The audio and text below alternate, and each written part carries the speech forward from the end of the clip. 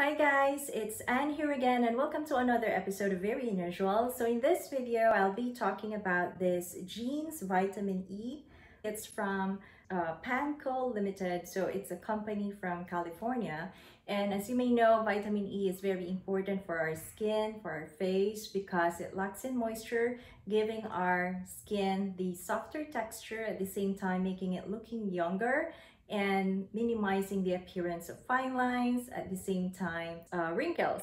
So vitamin E has a lot of healing properties too that could heal and prevent signs of aging. That's why it's really a good inclusion to our skincare routine.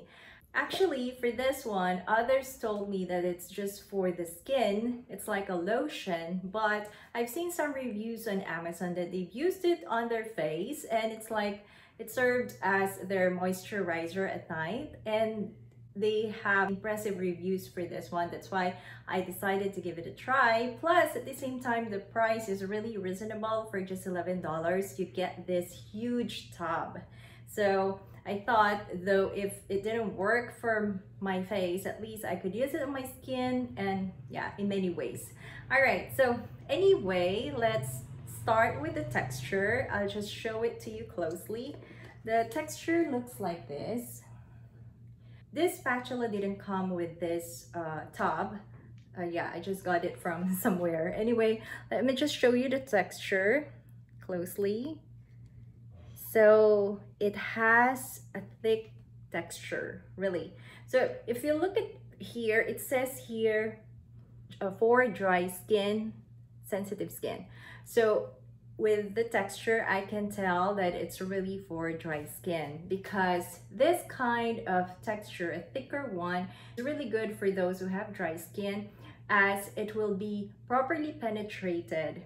Given this texture that it's kind of thick, it means too that when you apply it on your skin, let me just show you.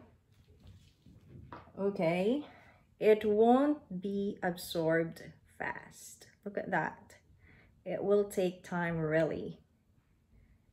Yeah. it will take time to really absorb on your skin, on your face. But I thought if you have an oily to combination skin, then maybe this one will go a long way because you only need a little of it so as to moisturize your skin.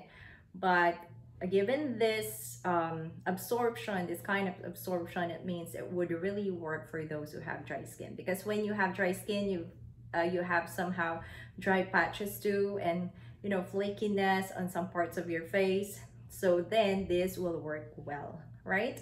So well, anyway, getting back to this product, when buying vitamin E, I'm sure you've noticed this one. It says IUs, right? So it only means international units. So most vitamin E supplements or skincare, they're still labeled in international units. So for this uh, one, or based from what I've read, uh, one international unit is actually equivalent to 0.67 milligrams of natural vitamin E.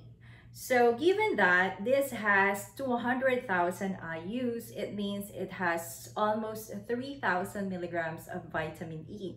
I'm not just so sure if it's all natural because it's not mentioned here. Anyway, for the ingredients, you could check the link down below. I have this uh, website where I check the ingredients there and then maybe you could just uh, type this product and see for yourself if those ingredients would suit your skin, your face all right?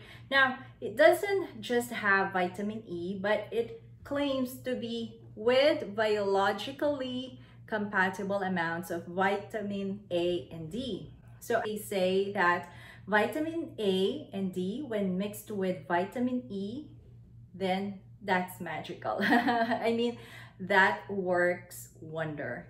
So i guess that's why that's another good claim for this one all right, so of course, it's also for sensitive skin. That's why I decided to get it because I have such sensitive skin.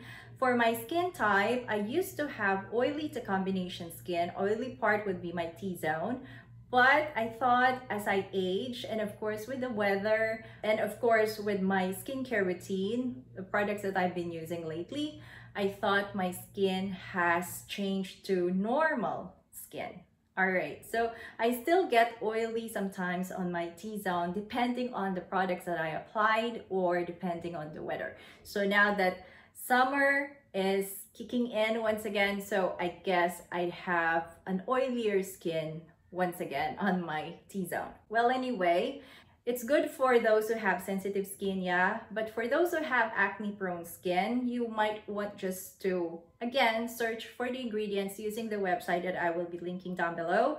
All right, so now for my review about this product, I thought the price is re reasonable, just like what I mentioned a while ago. That's a lot of product. It goes a long way. So it's very moisturizing. The mere fact that it's really good for those who have dry skin, it's really moisturizing.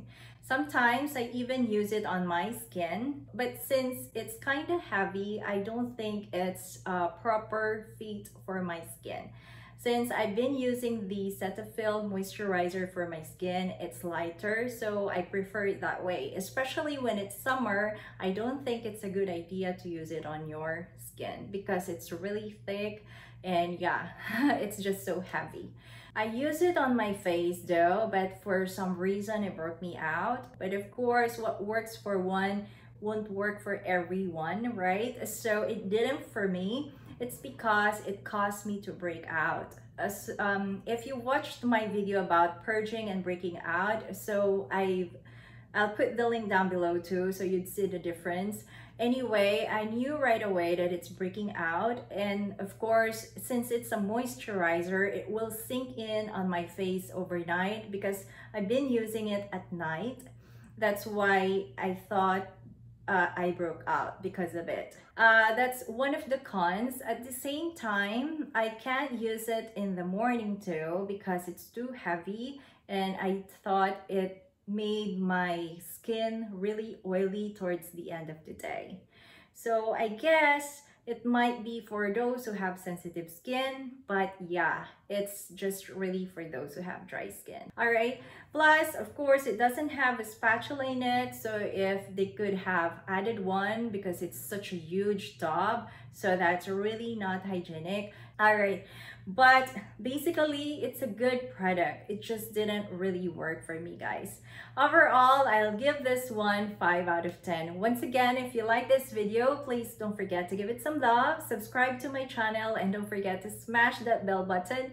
And of course, follow me too on Instagram at veryANNEusual. And yeah, I'll see you again next week. Happy weekend. Thank you.